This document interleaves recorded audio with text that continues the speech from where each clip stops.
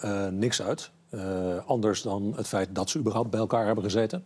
Eh, ik denk dat dat op zich wel een goed teken is. Want het betekent dat niet alleen Lavrov, maar ook eh, Poetin er blijkbaar belang aan hecht dat die onderhandelingen dat die open blijven. Dat voor de buitenwereld in elk geval duidelijk is dat hij daartoe bereid is. Maar is dat dan om, om achteraf te kunnen zeggen... Ik, hè, sympathiek, ik stond hiervoor open? Nou, ik Of- denk, ik denk dat het wel iets verder gaat. Eh, omdat eh, hij had natuurlijk, ze hadden natuurlijk ook gewoon onderhandelingen kunnen weigeren. En daar, eh, eh, en daar niet in mee kunnen gaan.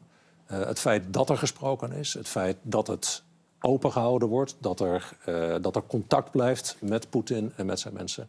Nou, dat vind ik op zich vind ik dat, eh, wel een goed teken. Nou ja, maar wat is er goed aan eigenlijk als je telkens tegenover elkaar zet en, en elkaar dezelfde boodschap blijft herhalen? Namelijk, de Russen zeggen wij stoppen niet voordat onze doelen zijn bereikt. En Oekraïne zegt we willen hier en daar wel wat water bij de wijn doen, maar niet wat jullie willen. Het is niet helemaal meer dezelfde boodschap. Hè? Eh, in, eh, eh, van de Oekraïnse zijde is inmiddels is, gezegd dat ze mogelijk willen overwegen om neutraal te blijven en dat ook uit te spreken.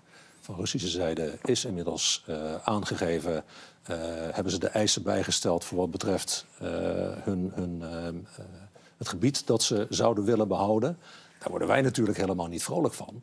Maar het zijn wel stapjes terug ten opzichte van de eerdere eisen. Nou ja, en het is voor de Russen weer niet genoeg. Ehm, nee, dat denk ik niet. Op termijn waarschijnlijk helemaal niet. Nee. Nee, nou ja,